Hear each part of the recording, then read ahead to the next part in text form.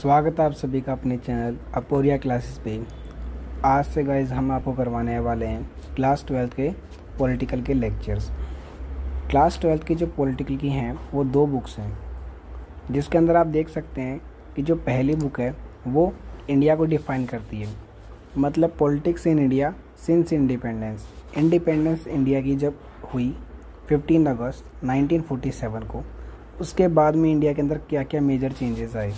जैसे कि नेहरू जी की लीडरशिप, शास्त्री जी की लीडरशिप, उसके बाद में आप देखिए इंदिरा गांधी जी की लीडरशिप और अटल बिहारी वाजपेयी जी की लीडरशिप।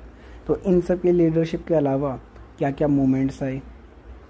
उसके अलावा अगर हम बात करें क्या क्या रिफॉर्म्स आए, जैसे कि मनमोहन सिंह जी के अंडर में एलपीजी रिफॉर्म्स आए। तो इन सब चीज़ों को हम पढ़ेंगे इस बुक के अंदर। इस बुक के अंदर एक एक कंटेंट को लेके इसी तरह से एक एक चीज़ को कवर करवाया गया है। और हम एक एक चीज़ का ऊपर करके एक एक चीज़ को कवर करने की कोशिश करेंगे। तो आज हमारा गाइज़ सबसे पहला लेक्चर है। तो इस लेक्चर के अंदर मैं आपको बता देता हूँ कि मैं क्या क्या करवाने वाला हूँ। सबसे पहले अगर आप देखें तो इस बुक के जो भी कंटेंट्स हैं, वो मैं आपको दिखा देता हूँ। जो सबसे पहला कंटेंट है, वो आप देख सकते हैं यहाँ पे चैलेंजेस ऑफ़ नेशन बिल्डिंग अब गाइज़ आपके दिमाग में आ रहा होगा कि नेशन क्या होता है? नेशन स्टेट कंट्री इन सब में क्या डिफरेंस होता है? तो बेसिकली अगर हम पहले बात करें कंट्री और स्टेट की तो स्टेट होता है कंट्री का एक छोटा सा एक हिस्सा, ठीक है? जो कि एक अलग गवर्नमेंट के द्वारा चलता हो। लेकिन पॉलिटिकल के अंदर कंट्री को ही क्या कहा जाता है? स्टेट पर स्टेट और नेशन में थोड़ा सा एक डिफरेंस होता है गाइस स्टेट की अगर हम बात करें तो उसके अंदर एक टेरिटरी होती है और लोग होते हैं। लेकिन जब एक बात आती है नेशन की तो नेशन के अंदर क्या होता है? उनका एक कॉमन वेलफेयर होता है। ठीक है? नेशन के लिए कॉमन वेलफेयर होता है सबका मिल के आई होप सो गाइज़ आपको ये चीज़ समझ में आई होगी। उसके बाद में अगर हम दूसरा टॉपिक बात करें तो वो है era of one party dominance one party dominance का मतलब है गाइज़ किसी भी एक पार्टी का वर्चस्व होना। वर्चस्व इन द सेंस कि मतलब उसका पॉलिटिकली काफ़ी ज़्यादा कंट्रोल होना। अब ये बात किसकी कर रहा है गाइस कांग्रेस की। अब कांग्रेस की कौन से लीडर की बात हो रही है यहाँ पे? ये बात हो रही है गाइस नेहरू जी की। अब नेहरू जी के अंडर लीडरशिप में कांग्रेस ने तीन बार free and fair democratically election जीते। यहाँ पे मैनुपलेशन नहीं हुआ है गाइस मैनुपलेशन का मतलब है डर्टी पॉलिटिक्स नहीं हुई है। अगर हम दूसरे शब्दों में अगर इसको बोलें तो यहाँ पे ओपोजिशन जो पार्टी है उन्होंने भी इसको एक्सेप्ट किया है कि हाँ यहाँ पे कोई भी मैनुपलेशन नहीं हुआ है। ये एकदम डेमोक्रेटिकल ऑर्डर से ही फॉलो हुआ है। तो उसके बाद में अगर तीसरा जो चैप्टर देखें तो वो क्या है? Politics of plan development plan development का मतलब क्या है? कि इंडिया के अंदर आज़ादी के बाद में एक प्लानिंग से डेवलपमेंट चलाई गई मतलब कि हम दो, एक बिल बनाएँगे, जिसके अंदर हम क्या करेंगे कि उसके दो हिस्से करेंगे, एक होगा प्लैंड और एक होगा अनप्लैंड अब प्लैंड के अंदर आएगा जैसे कि कोई भी डैम बनाना है तो वो इस साल से इस साल के बीच में बनाना है। जैसे कि हीराकुंड डैम वगैरह जो बनाए स्टील प्लांट्स वगैरह लगाए तो ये सब आते थे प्लान डेवलपमेंट में। अब अनप्लान क्या होंगे, जो भी अचानक से अगर कोई कैलामिटी हो जाती है, जैसे कि फ्लड ड्रोट तो वो सब आएँगे अनप्लान के अंदर। और किस तरह से सोवियत यूनियन का जो सिस्टम था फाइव ईयर्स एजेंडा वाला उसको हमने फॉलो किया और प्लानिंग कमीशन के अंडर में इसको इम्प्लीमेंट किया। तो ये सब चीज़ें हम इसके अंदर देखेंगे कि हमने एक ऐसी अप्रोच बनाई कि हम क्या कर सकें। एक टाइम बाद में हमारा देश काफ़ी ज़्यादा पॉलिटिकली और इकोनॉमिकली दोनों तरह से फ्री हो जाए। अगर हम चैप्टर फोर की बात करें तो वो डिस्कस करता है इंडिया के एक्सटर्नल रिलेशन एक्सटर्नल रिलेशन मतलब कि इंडिया के जो आस पड़ोस के देश हैं, जैसे कि पाकिस्तान, चाइना भूटान, नेपाल, म्यांमार, बांग्लादेश, श्रीलंका।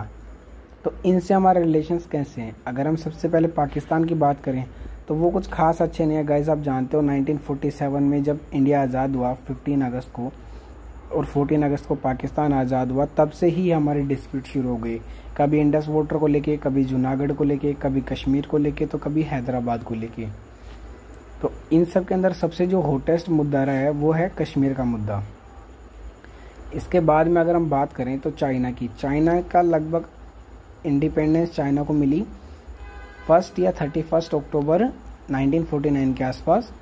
उसके बाद से चाइना से हमने काफ़ी ज़्यादा कोशिश की कि हमारे रिलेशन अच्छे हो जाएँ, पर वहाँ पे भी कुछ खास रिलेशन अच्छे हो नहीं पाते हैं।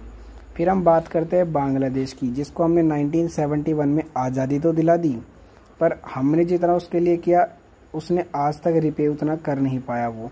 तो वहाँ पे भी हमारे कुछ खास रिलेशन हो नहीं पाते। श्रीलंका के साथ हमारा सिर्फ़ एक ही डिस्प्यूट रहा है, वो है सिन्हालाज वाला डिस्प्यूट जिसके अंदर हमारे प्राइम मिनिस्टर मारे जाते हैं। उसके बाद में नेपाल, भूटान जो हैं, उनसे हमारे कोई खास डिस्प्यूट्स नहीं है। और म्यांमार से भी हमारे कुछ खास डिस्प्यूट्स नहीं है। तो इन सब देशों के रिलेटेड हम इसमें पढ़ेंगे। उसके बाद में हम बात करें तो वो क्या है? Challenges to and restoration of the Congress system Congress system एक वर्ड है जो गाइज़ रजनी कोठारी मैम ने कहा था कि जो कांग्रेस का जो पूरा का पूरा सिस्टम था मतलब कि जो कांग्रेस चली आ रही थी 1947 से नेहरू जी के अंडर में 1964 तक और उसके बाद में दो साल चली शास्त्री जी के अंडर में। तो ये जो सिस्टम था, पूरा का पूरा इतने वेल प्लान तरीके से जिसको कोई आज तक डिस डिफीट नहीं कर पाया था। एक टाइम में इंडिया के लिए कहा जाता था कि हमेशा यहाँ पे कौन रहेंगे? कांग्रेस ही रहेगी। कभी कोई दूसरी पार्टी आ ही नहीं पाएगी।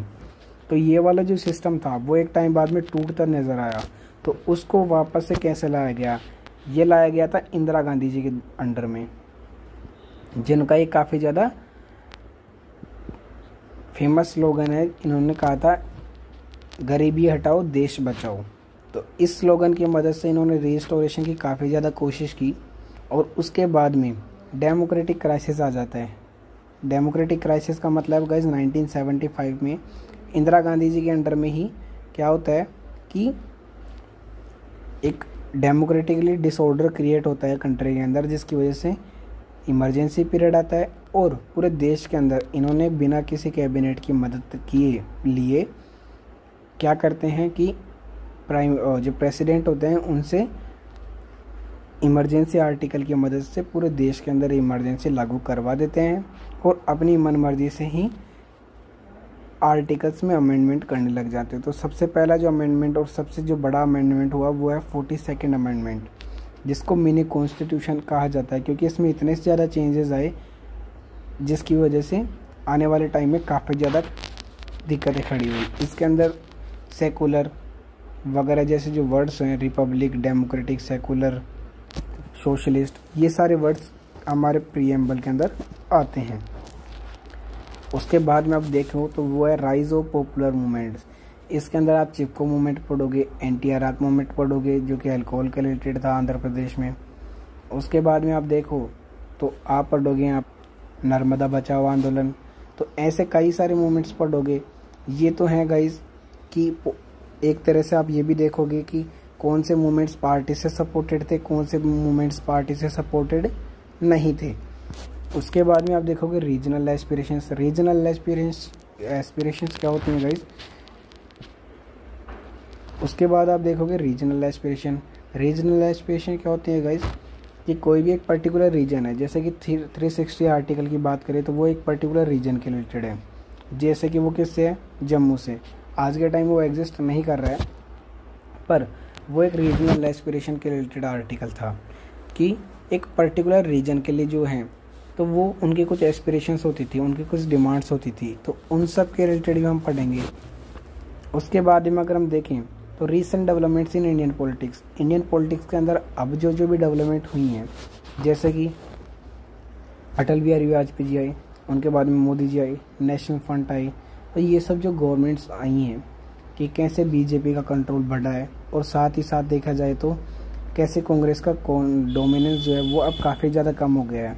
और अगर शायद कोई इतना ज़्यादा कैपेबल लीडर ना आया तो एक टाइम बाद में शायद कांग्रेस पूरी तरह से डिस्ट्रॉय हो सकती है।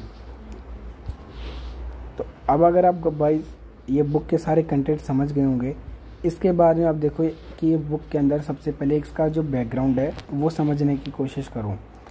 अगर हम बैकग्राउंड की बात करें तो इंग्लिश जिनका इस बुक के रिलेटेड काफ़ी ज़्यादा बड़ा रोल रहा है तो वो क्या होते हैं? वो आते हैं सेवनटीन सेंचुरी यानी कि सिक्स हंड्रेड सिक्सटीन हंड्रेड कुछ के अंदर। वो वहाँ की जो क्वीन एलिजाबेथ होती हैं, उनसे एक चार्टर लेके आते हैं और कहते हैं कि हाँ सिर्फ़ इस देश से सिर्फ़ हमारे हमारे देश से सिर्फ़ हम ही जाएँगे कंपनी की तरफ़ से कि जो वहाँ जाके क्या कर सके ट्रेड वगैरह कर सकें। ये आते हैं ट्रेडर बन के स्पाइसेस वगैरह के लिए। लेकिन एक टाइम बाद में ये पॉलिटिकल लीडर क्यों बन जाते हैं? बड़ा सवाल ये है। अब बड़ा सवाल ये इसलिए है क्योंकि ऐसा क्या इंसिडेंस होता है कि वो पॉलिटिकल लीडर बनने के लिए ऐसे इच्छुक हो जाते हैं? तो होता है क्या है कि यहाँ पे जब वो आते हैं तो वो एक चीज़ नोटिस करते हैं कि यहाँ पे काफ़ी ज़्यादा मिस मिस अंडरस्टैंडिंग है लोगों के बीच में। जो लीडर्स हैं उनमें काफ़ी ज़्यादा मतभेद हैं। तो इसी वजह से इस चीज़ का फ़ायदा उठा के उन्होंने डिवाइड एंड रूल की जो पॉलिसी होती है, उसकी मदद से इंडिया में कंट्रोल अपना जमाते गए धीरे धीरे जैसे कि बैटल ऑफ़ बक्सर के अंदर किया सिराजुद्दौला के साथ में। सॉरी बैटल ऑफ़ प्लासी के अंदर किया। उसके बाद में बैटल ऑफ़ बक्सर के अंदर कासिम वगैरह जो रूलर्स थे, उनके साथ में भी सेम यही चीज़ सीन इन्होंने क्रिएट किया। अब काफ़ी ज़्यादा ये हिस्ट्री का पार्ट है, इसलिए हम इसको स्किप करके अब एक काफ़ी लॉन्ग पीरियड के अंदर, लगभग 200 ईयर्स का जो टाइम पीरियड था, उसके अंदर जाके इतना ज़्यादा स्ट्रगल देखने के बाद में ये डिसाइड करते हैं कि हाँ हम इंडिया को छोड़ के जा रहे हैं परमानेंटली हम इंडिया को पॉलिटिकली इकोनॉमिकली और सोशली और रिलीजियसली हम पूरी तरह से छोड़ के जा रहे हैं, हमें यहाँ पे कुछ नहीं लेना देना। अब क्या होता है कि जो लॉर्ड माउंट बैटन है लॉर्ड माउंटेन बैटन है इंडिया के लास्ट इंग्लिश गवर्नर जनरल या फिर वाइस रॉय भी आप कह सकते हो। इनके बाद में एक ही वाइस रॉय बने हैं, वो हैं राजगोपालाचारी जी। तो वो इंडिया से बिलोंग करते थे, इसलिए लास्ट गवर्नर जनरल बोले जाते हैं इंग्लिशर्स के, जो कि इंडिया के अंदर गवर्नर रहे। ये थ्री जून 1947 को क्या करते हैं? एक प्लान निकालते हैं कि इंडिया को आज़ाद किया जाएगा 15 अगस्त 1947 को। तो अब जब ये न्यूज़ निकल के आती है तो लोग एक्साइटेड बहुत थे जो, लेकिन जो लीडर्स थे, जैसे कि सरदार वल्लभ भाई पटेल, नेहरू जी, महात्मा गांधी जी, ये सब काफ़ी ज़्यादा टेंसड हो जाते हैं कि उसके बाद क्या होगा। अगर ये छोड़ के चले गए, उसके बाद अचानक से क्या होगा? हम जिस चीज़ के लिए इतने टाइम से लड़ रहे थे, क्या हमारे ऊपर कोई और कंट्रोल कर लेगा? या कोई पड़ोसी देश हमारे ऊपर हमला कर देगा अटैक कर देगा? तो क्या सिचुएशन होगी? क्या ये देश ऐसे रह पाएगा या टुकड़ों में बट जाएगा। तो ये सब काफ़ी ज़्यादा चीज़ें थी, काफ़ी ज़्यादा टेंशन्स थी, वो यहाँ पे दिखने को मिली। उसके बाद में आप देखो तो दिक्कत क्या थी, जो ब्रिटिश इंडिया था ब्रिटिश इंडिया मतलब जो ब्रिटिशर्स के कंट्रोल में था, वो दो टुकड़ों में था प्रिंसली स्टेट्स जो कि मतलब ऐसी स्टेट्स थी, जहाँ पे किंग रूल करता था, लेकिन वो ये समझता था कि हम इंग्लिशर्स के क्या हैं स्लेव्स हैं, गुलाम हैं, और उनको रेगुलर टैक्स पे करता था। उनका वन थर्ड एरिया हुआ करता था इंडिया के मुकाबले। और 565 ये टोटल थी नंबर में। दूसरा जो हिस्सा था वो था प्रोविंशियल इंडिया। प्रोविंशियल इंडिया का मतलब है गाइज़ कि जो भी था इंडिया उसके अंदर। जितना भी जो एरिया था वो ब्रिटिशर्स ने लड़ के और जीत के कंट्रोल किया। जैसे कि सिराजुद्दौला, मीर कासिम को हरा के वहाँ पे उन्होंने बंगाल का एरिया कंट्रोल किया सबसे पहले। फिर मराठाओं से लड़े। फिर उनके बाद में मैसूर से लड़ाई लड़ी। फिर उसके बाद में सिख वॉर लड़ी। तो ऐसे जितने भी यहाँ पे कंट्रोल किए ना, वो इन्होंने कैसे किए? उसके बाद अगर हम बात करें तो ये दोनों चीज़ें हो गई। अब बात आती है कि प्रिंसली स्टेट्स ने इतने टाइम तक लॉयल रहे। तो लॉयल रहने के लिए उनको कोई रिवॉर्ड तो मिलना चाहिए?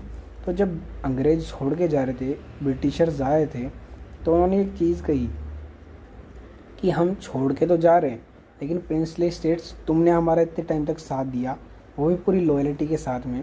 तो एक काम करो, तुम या तो इंडिया में चले जाओ, या पाकिस्तान में चले जाओ, या फिर तुम रह जाओ इंडिपेंडेंट तो अब इसका मतलब क्या था? इंडिया के बंटवारा इंडिया के होने वाले हैं अब टुकड़े। तो एक इंडिया तो जो आप देख रहे थे उस टाइम से कि हाँ ऐसा बनेगा। उसी के बीच में एक पार्टी निकल के आती है मुस्लिम लीग, मोहम्मद अली जिन्ना साहब और लियाकत अली खान साहब के अंडर में। तो ये क्या करती है कि मुस्लिम के जो राइट्स हैं, वो सिक्योर नहीं रह पाएँगे एक हिंदू डोमिनेटिंग कंट्री के अंदर। तो ये क्या कहती है, पाकिस्तान बना के दो हमें अलग। ये नाइनटीन फोर्टीज़ में काफ़ी ज़्यादा पॉपुलर हो जाती है। आज के टाइम में जो पाकिस्तान और बांग्लादेश है वहाँ पे।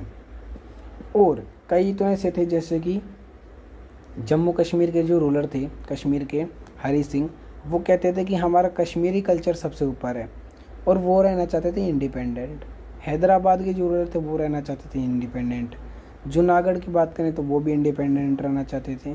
जूनागढ़, गुजरात के अंदर पड़ता है गाइस तो ये सारे जो थे, वो ऐसे चाहते थे कि हम इंडिपेंडेंट रहें। तो ये भी कैसे कैसे सॉल्व हुई? आज वो कैसे इंडिया के अंदर हैं? ये कैसे पाकिस्तान के अंदर गए? तो ये सब चीज़ें हम डिस्कस करेंगे।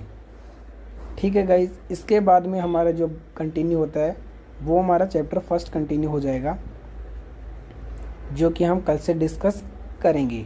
आई होप सो गाइज़ आप सभी को ये लेक्चर्स अच्छे लग रहे हैं। अगर आपने अभी तक भी कोई तैयारी नहीं की है तो आप घबराओ मत गाइज़ आप डेली के लेक्चर्स लो अटेंड करो और बस इनका टाइम टू टाइम रिवीजन करो। आप इनके स्क्रीनशॉट्स लेते रहा करो बीच में, ताकि आप इनको रिवीजन कर सको। और जहाँ पे भी क्वेश्चन वगैरह बनेंगे, वो मैं आपको करवाते रहूँगा। और आपका एक बोर्ड में एक अच्छा स्कोर क्रिएट करवाने में मैं आपकी हेल्प करूँगा। ठीक है गाइज़ आई होप सो आप सभी को ये लेक्चर अच्छे लगे होंगे। Please like it share it and subscribe it